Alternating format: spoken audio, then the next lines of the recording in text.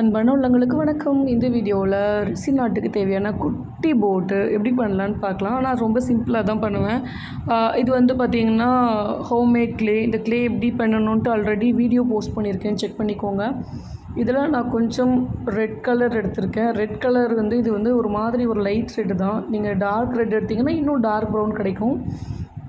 இது ஒரு ட்ராப் அதுக்கப்புறம் கொஞ்சமாக பிளாக் கலர் வந்து டச் பண்ணிக்கிறேன். ஸோ ரெண்டு எடுத்து மிக்ஸ் பண்ணும்போது உங்களுக்கு ஒரு அழகான ஒரு ப்ரௌன் கலர் வந்து கிடைக்கும். ரெண்டையும் நல்லா மிக்ஸ் பண்ணிக்கிட்டேன். இந்த மாதிரி மிக்ஸ் பண்ணிவிட்டு க்ளேவில் வந்து நம்ம மிக்ஸ் பண்ணும்போது க்ளே வந்து சூப்பரான ஒரு ப்ரௌன் கலர் ஒரு நேச்சுரலான ப்ரௌன் கலர் வந்து கிடைக்கும். உங்களுக்கு வேணால் நீங்கள் போட்டு பண்ணிவிட்டு அதுக்கப்புறம் கூட நீங்கள் கலர் பண்ணிக்கலாம். ஒன்றும் ப்ராப்ளம் இல்லை. நம்மளோட இஷ்டம்தான். ஸோ இந்த மாதிரி கிளேவை நல்லா நீட் பண்ணிக்கலாம்.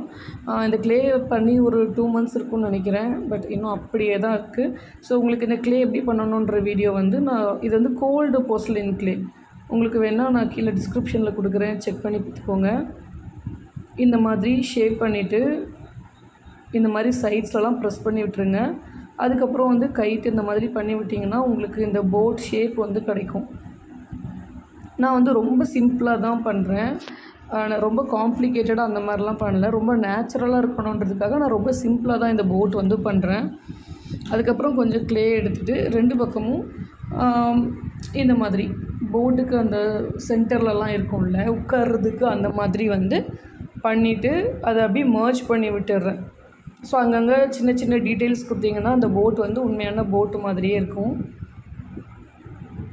இது வந்து நான் அதில் இன்க்ளூட் பண்ணால் கொஞ்சம் வீடியோ லாங் ஆகுன்றதுக்காக நான் இதெல்லாம் தனியாக உங்களுக்கு வீடியோவாக கொடுக்குறேன். ஸோ இதுக்கு துடுப்பு பண்ணுறதுக்கு இந்த மாதிரி க்ளேவை ரோல் பண்ணிவிட்டு கட் பண்ணிவிட்டு மீதி உள்ளே மீதி உள்ளதை ரவுண்ட் பண்ணி இந்த மாதிரி வச்சுட்டேன். இது ரெண்டும் காயட்டும்.